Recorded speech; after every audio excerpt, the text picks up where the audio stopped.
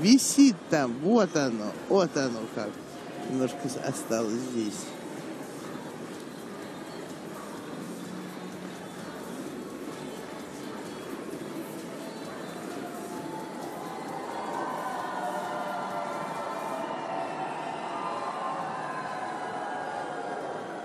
Складная, красивая, резкая.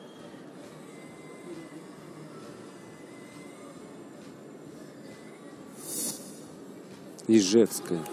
Ижевская.